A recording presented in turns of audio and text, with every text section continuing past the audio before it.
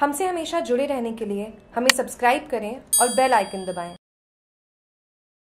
उमस और गर्मी के बाद दोपहर में जमकर बरसे बादल। कई दिनों से हो रहा था बारिश का इंतज़ार। पूरा शहर भीगा। जोधपुर की सूर्या नगरी में शुक्रवार को उमस और गर्मी के बीच दोपहर में बादल बरसे। यहाँ सुबह से ही उमस ने ज़ोर पकड़ा हुआ था। दोपहर करीब दो बजे यहाँ बादलों ने बरसना शुरू किया। इस बारिश के बाद लोगों के चेहरे खिल गए। यहाँ शहर वासी कई दिनों से बारिश का इंतज़ार कर रहे थे। बारिश के अभाव में किसान भी चिंतित थे। फ़सलों को एक दो बारिश का अब भी इंतज़ार है। पश्चिमी राजस्थान में पंद्रह 15 सितंबर तक लगभग मानसून की विदाई हो जाती है, लेकिन जोधपुर संभाग में अब तक अच्छी बारिश नहीं होने से निकट भविष्य में पानी के संकट के साथ अच्छे जमाने की उम्मीद भी नहीं की जा सकती है। मौसम विभाग की माने तो जोधपुर शहर और इसके आसपास के इलाकों में उमस बनने से अच्छी बारिश होगी। शुक्रवार को दोपहर में इसकी शुरुआत हो गई। इससे पहले आज सुबह से ही लोग उमस और गर्मी से बेजार नज़र आए। उमस ने लोगों के पसीने छुड़ा दिए थे। आसमां पर सुबह से ही बादल का डेरा जमा हुआ था। दोपहर में बादलों ने बरसना शुरू किया। यहाँ काफ़ी देर तक बारिश होती रही। प्रारंभ कुछ देर के लिए हल्की बारिश हुई, लेकिन फिर बाद में बारिश ने ज़ोर पकड़ लिया। लिया। तेज बौछारों के साथ हुई मूसलाधार बारिश के कारण कुछ ही देर में सड़कों पर बाढ़ी बहने लग गए शहर के भीतर भाग में पानी का बहाव तेज रहा। इस दौरान लोगों ने गर्मी और उमस से निजात पाने के लिए बारिश के पानी में स्नान किया। जोधपुर से